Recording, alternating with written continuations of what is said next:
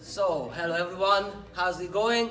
And now we are back with our interviews here at Fred Astaire Dance of Colleyville.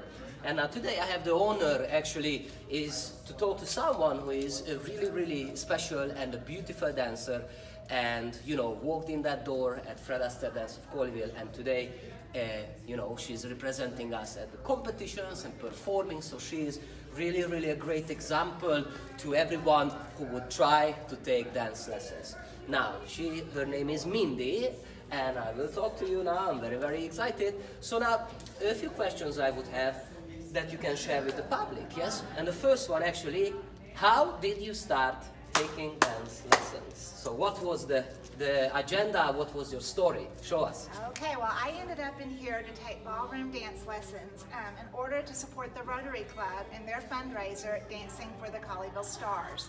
And I, I was asked to take part in it and they would set us up with lessons here and I, I, was hooked. I mean, not only did we do a great job and raised a lot of money for worthy causes, but we had a blast with exactly. the choreography, with the costumes, and the event, the and event. everything. If you can get a ticket, I highly recommend you go to that event Absolutely. because you will see some wonderful dancing. You want to see you there. And you might end up getting inspired and coming in here to take some lessons too. So after that event ended, well, I mean, I was having a ball doing the dancing lessons. I hadn't danced since I was a kid, and so I just kept it up.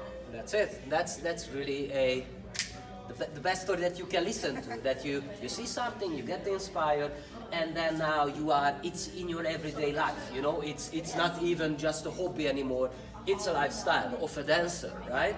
And you know, we as teachers, that's that's that's how we started when we were we were little kids, especially in this group. We have mostly teachers who started childhood, yes and uh, that's that's what that was really our story very very similar you know just see something trying and then wow okay we are disconnected and we we do this every day and, and in every minute we are counting in our head or we are practicing so it sounds really crazy but this is very true actually so okay um, can you please this is the second one can you please share every benefit okay which is which is outside that you experience of taking lessons and you know it affects other aspects of your life, of your everyday life.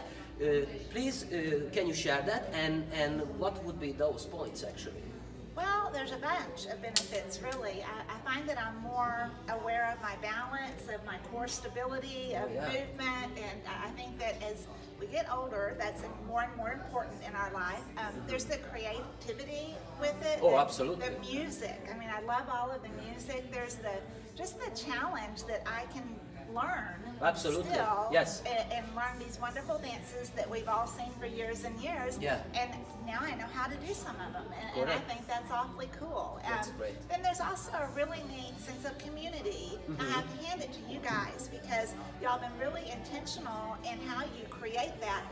Everyone that works here is friendly, and it's like an extended dance family and uh, very supportive and, and we laugh a lot and, oh, yeah. and there's lots of opportunities you know to, to, to, get together and dance on a weekend and to bring your friends if you want to or bring your husband if you want to and um, I just applaud y'all on that because I think y'all made it really special to be a part of and that's that's part of what makes it so enjoyable. Yeah, and then thank you for saying that because you know uh, I as the as the director and, and also all the all the teachers here, we really put a lot of effort in this one, you know, because obviously the, the caliber of the dancers and the quality of the dancing is very important for us. It's re I'm really, really picky about it actually. Well, but y'all are great teachers.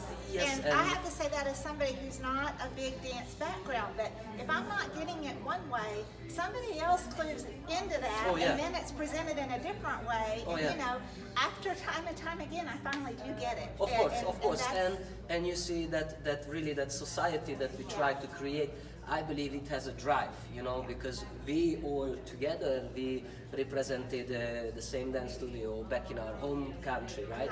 And, and you know, just because of this, we, not just we became friends, but, but small things, like for example, when we went to, to take the lessons, you know, or practice, we didn't meet actually at the dance studio. We met way ahead on the way collected the team together and I don't know, take the subway or take the bus or something, but we were already, you know, on topic. We were already talking about what we do every day. So that's why, you know, we are friends for, for nearly a lifetime, you know, and, and I believe in the drive of that and definitely that's how what we want to create with you guys, you know.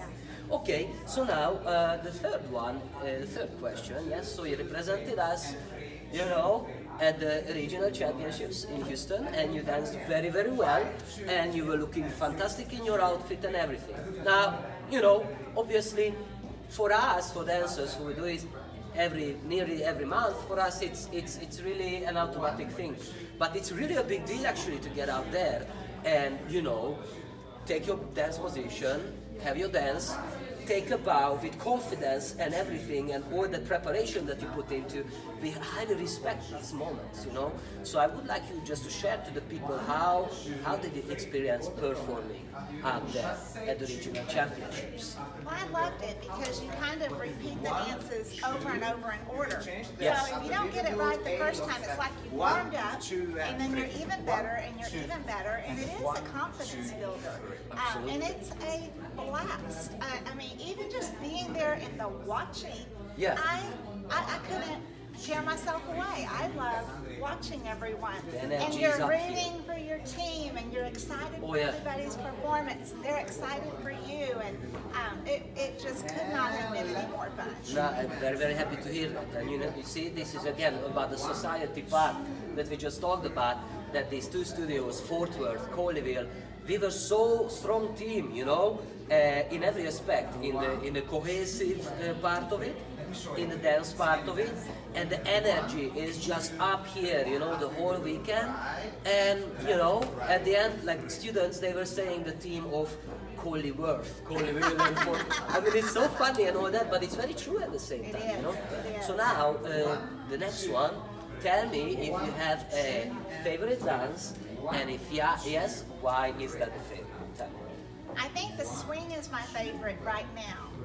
But I also, because I love the speed, I love the music. yes. I mean, it is just, it's just fun. Um, but I also, I like the waltz. I mean, to me, it's just beautiful and elegant, and um, it just is like the perfect ideal. Nice. So, Excellent. But my favorites kind of change with whatever I'm working on at the time. And, I And have very to say, normal, you know? every one of them is a nice challenge. Absolutely. And, and you feel that sense of achievement with it. excellent notes because it truly will keep keep on changing. Trust me, for me as well. Okay, I have a basic favorite dance, which is the Paso Doble. I'm very connected with, uh, you know, Spanish I haven't learned that one yet. Not yet, cool. yes.